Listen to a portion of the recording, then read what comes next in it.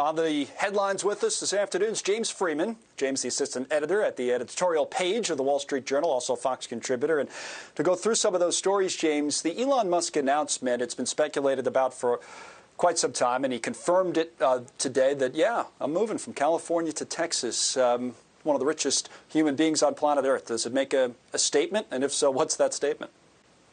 Well, I think it makes a huge statement. Not that the California politicians will listen to it. But, you know, for a long time, it's been very difficult to live there if you're a middle class person. Uh, housing's very expensive, it's difficult to find. It's been tough if you're poor. They have the largest, by far, largest unsheltered homeless population in the country.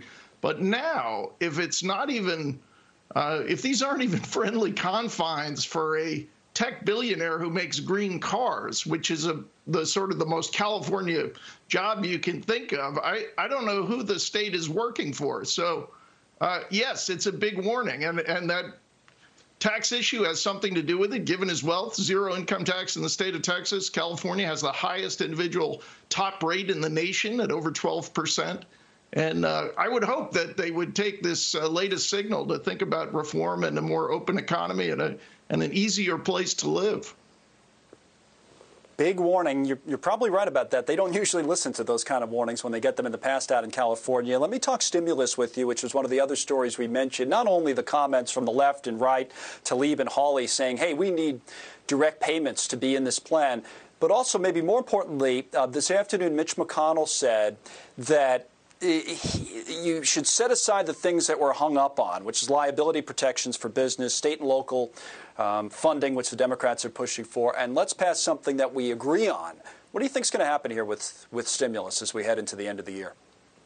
Uh, well, I would hope they uh, agree to set aside a lot of things. I think that Friday jobs report, uh, another 350,000 roughly added in the private sector tells you with 12 million jobs added since the spring shutdowns, if we just stop the limits on activity, this economy will revive. Now, as far as individual payments, I, I think there is a case that uh, if you're going to write another stimulus bill, and I wish they wouldn't, uh, sending money directly to people, especially people whose uh, restaurants and retail uh, jobs have been basically eliminated in, in places by politicians. I, I think there's a lot better case for that than what currently seems to be part of the package, which is checks to state and local governments. So um, I would hope they would realize that uh, reopening is the best stimulus. But if you're going to do a bill like this, mm-hmm.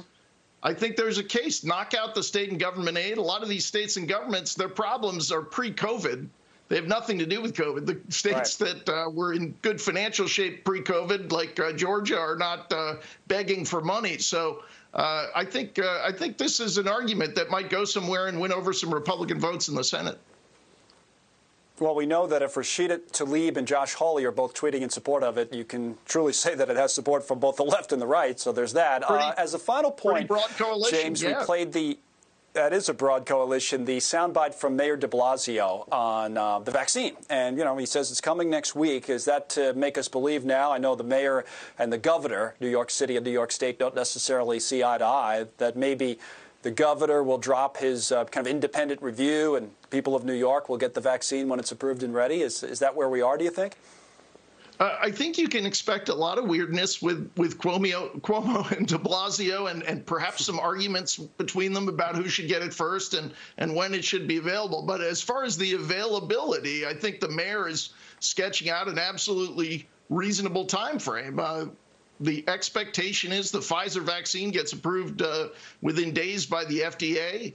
Uh, the uh, general leading the Operation Warp Speed uh, distribution effort uh, says that they are ready to start shipping in 24 hours. They've got agreements with UPS, FedEx, and other companies. So uh, I think it's very reasonable if the governor, Mr. Cuomo, will allow patients to get this needed vaccine that it could be happening that quickly.